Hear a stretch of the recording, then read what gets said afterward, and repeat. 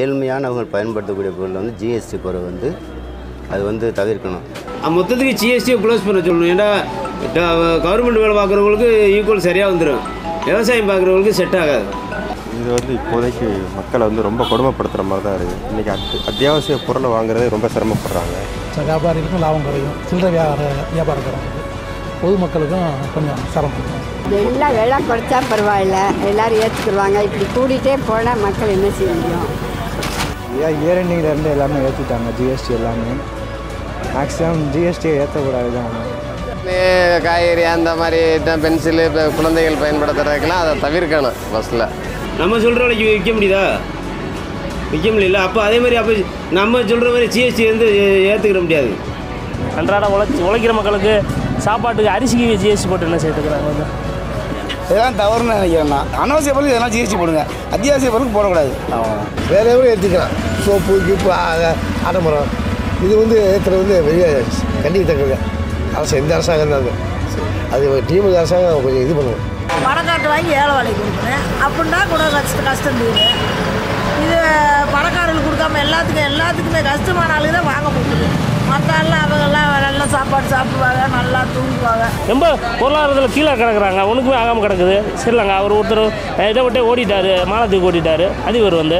இன்னைக்கு நான் வந்து சரி பண்ணுறேன்னு ஒருத்தர் வந்து நிற்கிறாரு ஏன் தமிழகத்தில் என்ன குறையா இருக்குது? எல்லாமே நல்லா தானே இருக்கிறோம் இங்கே ஏன் ஜிஎஸ்டி போட்டு மக்களை வாதி வாட்டி வதைக்கணும்? இதுக்கு என்ன செய்யலாம்? நம்ம என்ன செய்யலாம்? எல்லாரும் சேர்ந்து போராட்டம் தான் நடத்தணும். போராட்டம் நடத்தினா தான் முடியும்.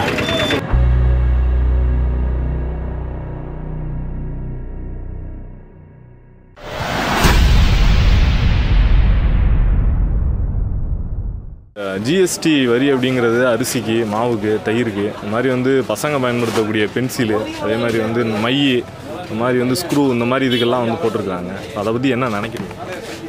இது வந்து இப்போதைக்கு மக்களை வந்து ரொம்ப கொடுமைப்படுத்துகிற மாதிரி தான் இருக்குது. இன்றைக்கி அத் அத்தியாவசிய பொருளை வாங்குறதே ரொம்ப சிரமப்படுறாங்க. இதில் போய் ஜிஎஸ்டின்னு சொல்லி மக்களை வந்து திணிக்கிறாங்க. வரியில் போடலாம். எவ்வளோ பெரிய பெரிய விஷயங்களில் போடலாம். இந்த சின்ன சின்ன பென்சில் பேனா சாப்பிட்ற பொருள் விவசாய பொருள் எதுக்கு ஜிஎஸ்டி போகணும் அது தேவையில்லாத வேலை தான். இதை வந்து அரசாங்கத்துக்கு யார் சொல்லி அதை புரிய வைக்கிறதுன்னு தெரில பாதிக்கப்பட போகிறது நம்மளை மாதிரி நடுத்தர மக்கள் தான். பெரிய பெரிய ஆள்கள் யாரும் பாதிக்கப்பட போகிறது இல்லை. அன்றாடம் கூலி கூலிக்கு வேலை பார்க்குறவங்க. இங்கே வந்து பார்த்தீங்கன்னா தெரியும் எல்லாருமே கூலிக்கு வேலை பார்க்குறவங்க தான். ஹை பீப்புள் யாருமே இங்கே மார்க்கெட்டுக்குள்ளே வரப்போகிறதே இல்லை. எல்லாம் அவங்கவுங்க மாலுக்கு தான் போய் பார்க்க வாங்குறாங்க. இந்த மாதிரி லோ கிளாஸ் பீப்புளும் ரொம்ப அடிபடும் ரொம்ப கஷ்டம்தான். இது குறைச்சா ரொம்ப நல்லாயிருக்கும் மொத்தத்துக்கு ஜிஎஸ்டியை க்ளோஸ் பண்ண சொல்லணும். ஏன்னா கவர்மெண்ட் வேலை பார்க்குறவங்களுக்கு ஈக்குவல் சரியாக வந்துடும் விவசாயம் பார்க்குறவங்களுக்கு செட் ஆகாது. அவங்க வந்து நாடு கூலி வேலை பார்த்து அதில் ஒரு பொருள் வாங்க போகும்போது ஜிஎஸ்டின்னு போடும்போது அவள் எல்லா பொருளுமே விலை வச்சு கூடிடுறது டபுள் மடங்கு ஆகி போகுது. அவள் கூடும்போது பாதிக்க தான் விடும் இதனால் நட்டம்தான். விவசாய மக்கள் தான் பாதிக்கப்படுவாங்க. கூலி வேலை பார்க்குற நடுத்தர மக்கள் வந்து அவங்க பாதிக்கப்படுவாங்க. ஏன்னா கவர்மெண்ட் வேலை பார்க்குறவங்களுக்கு தெரியாது. அதே மேட்ரு இங்கே ஜிஎஸ்டி வரி கூட கூட அங்கே அவங்களுக்கு சம்பளம் கூடிடும் இவங்களுக்கு கூடாது. விவசாயம் வந்தால் தான். அது வர நேரம் விலையில்லாமல் போகும். இப்போ நெல்லுக்கு பாருங்க ஆயிரத்தி ஐநூறுரூவா உரத்தை கூட்டிட்டா இன்னும் நெல்லுக்கு ஆயிரம் ரூபாய்க்கு மேலே கூட்டவே இல்லை அப்போ விவசாயத்தை கையை பிடிக்கும் மொத்தத்துக்கு ஜிஎஸ்டி வந்து க்ளோஸ் பண்ணணும். அவங்க டெய்லி கூலி வேலை செய்கிறவங்க ஐம்பது ரூபாய்க்கு வேலை செய்கிறவங்க நூறுரூவாய்க்கு வேலை செய்கிறவங்களாம் இருக்காங்க. அவங்கெல்லாம் எப்படி பண்ண முடியும்? அவங்களாம் இதெல்லாம் செய்ய முடியுமா? அவருக்கு அஞ்சு அச்சு பிடிக்க முடியுமா? ஒரு அரிசி வாங்கினா ஐம்பது ரூபா. அதுக்கு என்ன குழம்பு வாங்குவாங்க? சரி ஒரு தயிர் வாங்கிக்கணும்னா அதுலேயும் இப்படி வரி போட்டால் எப்படி? அவங்க எப்படி சரி சரி பண்ண முடியாது. வேறு அதாவது சும்மா சாப்பிட்டு செத்து போகும் நெஞ்சிலாம் செத்து போகும் ஏழ்மையானவங்க பயன்படுத்தக்கூடிய பொருள் வந்து ஜிஎஸ்டி குறை வந்து அது வந்து தவிர்க்கணும். ஏன் தவிர்க்கணும்னா அதாவது பொருளாதார இதில் பின்தங்கிய நிலையில் நிறையா பேர் இருக்காங்க. இதை வந்து அரசு வந்து கண்டிப்பாக வந்து மத்திய அரசு மாநில அரசு ரெண்டும் புரிந்து செய்ய வேண்டும். ஜிஎஸ்டி அண்ட் ஜிஎஸ்டி அதாவது ரெண்டு பேரும் வரி போடுவது ஏற்றுக்கொள்ள இயலாது. ஏன்னு கேட்டால் ரெண்டு பேரும்னா இப்போ நான் ரெண்டு ரூபா அப்படின்னா நீங்கள் ஒரு ரூபா. இது வந்து மக்கள் மேலே சுமை போகுது. யாராவது ஒரு நபர் வரியை மட்டும் போட்டு அதை வந்து ஏழ்மையாக்குன்றது எல்லாத்துக்கும் வந்து சாத்தியமானது. இதை வந்து அரசாங்கம் வந்து கரெக்டான முறையில் செயல்படுத்தினா மக்கள் இன்னும் வந்து வரவேற்பாங்க. வரி போடுறது தப்பு கிடையாது. ஜிஎஸ்டி போடலாம். ஆனால் அதே வந்து கம்பெனிகள் ஆன்லைன் கம்பெனிகள் கார்பரேட் நிறுவனங்கள் அவங்க மேலே ஜிஎஸ்டி போட்டால் அது வந்து வரவேற்கக்கூடியது. மற்றபடி சாதாரண பொதுமக்கள் பயன்படுத்தக்கூடிய பொருள் போடுவது கல்லூரி மாணவர்கள் மாணவிகள் பயன்படுத்திய பொருளில் வந்து ஜிஎஸ்டி போடுறது அதை வந்து தவிர்க்கணும். இப்போ வந்து நேஷனல் இன்டர்நேஷ்னல் ஸ்கூலுக்கு வந்து ஜிஎஸ்டி போடலாம். ஆனால் மாநில அரசுகள் பிள்ளைகள் படிக்கக்கூடிய பள்ளி பொருள்களுக்கும் அது சரிசமமாகுது. அதெல்லாம் வந்து கண்டிப்பாக தவிர்க்கக்கூடியது. அஹ், தயிர் இதுக்கெல்லாம் வந்து ரொம்ப இதாகும். வியாபாரிகளுக்கு கொஞ்சம் வியாபாரம் இது கம்மியாகும். வியாபாரம் லாபமும் கம்மியாகும். இப்போ ஒம்பது ரூபாய்க்கு இப்போ தயிர் பாக்கெட் வாங்கினோம்னா ஜிஎஸ்டி போட்டாங்கன்னா ஒம்பது ஐம்பது போடுவாங்க. நாங்கள் அதே பத்து ரூபாய்க்கு தான் முந்தி முப்பது ரூபா வாங்கணும் பத்து ரூபாய் கொடுத்தோம். இப்போ பத்து ரூபாய்க்கு பத்து ரூபா தான் கொடுக்க முடியும். அதுக்கு மேலே கொடுக்கறது கொஞ்சம் சிரமம். வியாபாரிகளுக்கும் கஷ்டம் பொதுமக்களுக்கும் கஷ்டம். வியாபாரிகளுக்கும் லாபம் குறையும். சில்லறை வியாபார வியாபாரக்காரங்களுக்கு. பொதுமக்களுக்கும் கொஞ்சம் சிரமம். எல்லாம் விலை குறைச்சா பரவாயில்ல. எல்லாரும் ஏற்றுக்குருவாங்க இப்படி கூடிட்டே போனால் மக்கள் என்ன செய்ய முடியும்? காய்கறி அந்த மாதிரி பென்சிலு இப்போ குழந்தைகள் பயன்படுத்துறதுக்கெல்லாம் அதை தவிர்க்கணும் ஃபஸ்ட்டில் எந்த பொருள்களுக்கு தவிர்க்கணுமோ அதை கண்டிப்பாக தவிர்த்துட்டு மிச்ச பொருள்களுக்கு அதை செய்யணும்.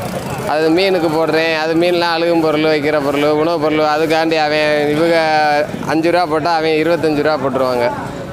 அதனால் அதெல்லாம் ரொம்ப கஷ்டமாக இருக்கும். பென்சில்லாம் குழந்தைகளுக்கு இதில் என்ன பென்சிலு இப்போ சாக் பீஸு இதெல்லாம் தவிர்த்துறானு குறிப்பிட்ட பொருள்களுக்கு ஸ்லேடு புக்கு நோட்டு இதுகள்லாம் தவிர்த்துட்டு மித்ததுகளுக்கு போட வேண்டியதுதான்.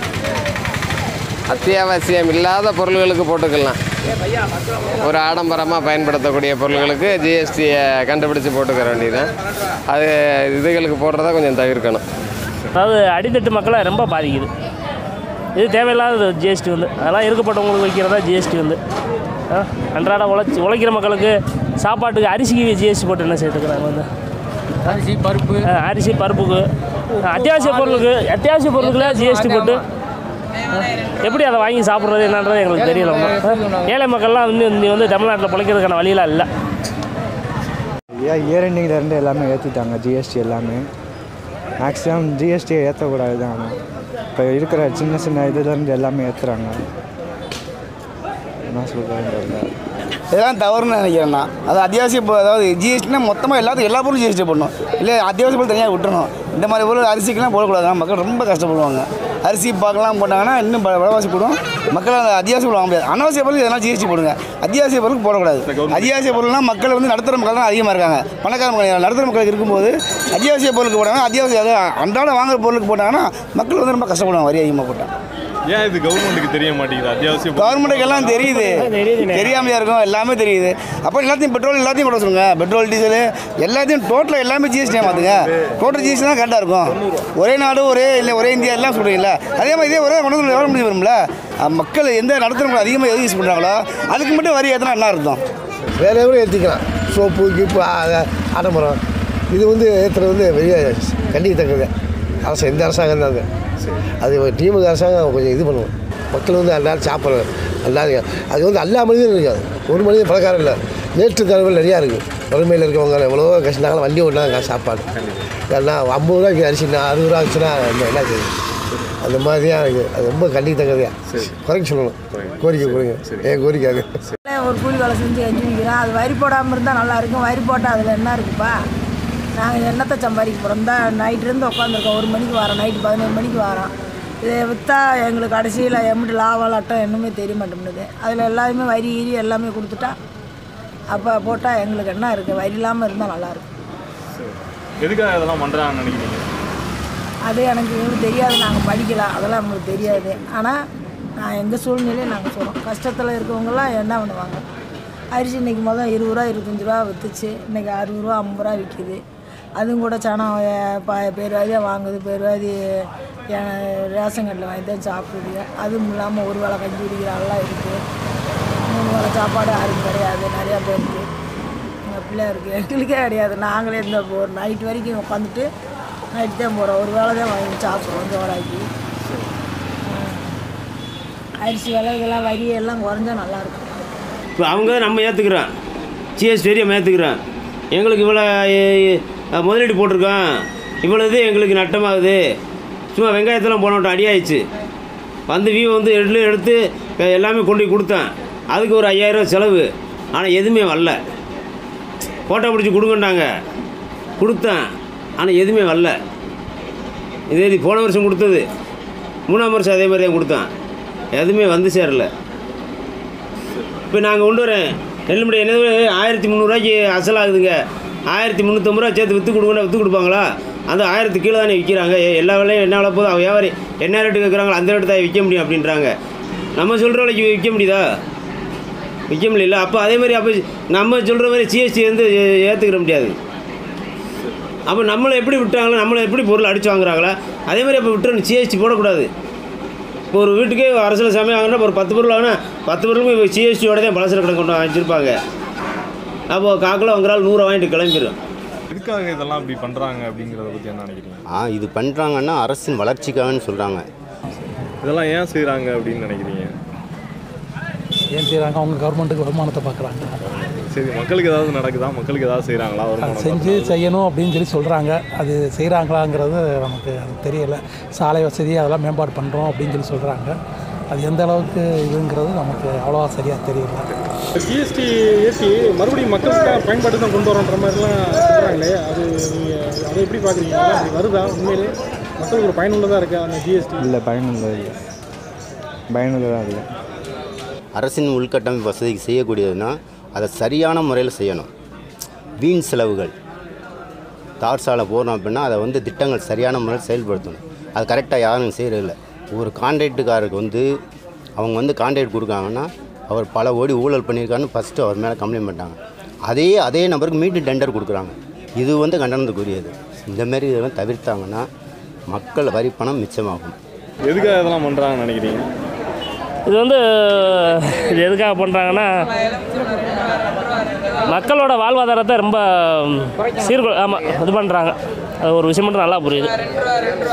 மக்களுக்கு செய்கிறாங்களா அப்படிலாம் ஏற்றி மக்களுக்கு என்ன செய்கிறாங்க விலைவாசி தான் கூட தான் போயிட்டே இருக்குது. கேஸ் விலையெல்லாம் அதிகமாகிட்டு ரொம்ப ஆயிரத்தி நூற்றம்பது ரூபா போட்டு நம்மளால வாங்க முடியுமா?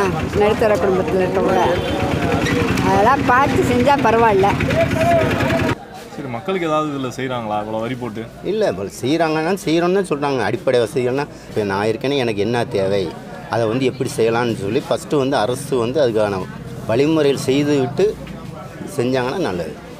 சரி இதெல்லாம் எப்படி சரி பண்ணுறது நம்ம? எப்படி வந்து இந்த பிரச்சனையை சரி பண்ணுறது அரசாங்கம் அதுக்காக தான் அரசாங்கத்துக்கு ஓட்டு போட்டு அவங்கள தேர்ந்தெடுத்துருக்குறோம். அவங்க பார்த்து ஒரு நல்ல வழியாக செய்யட்டும்.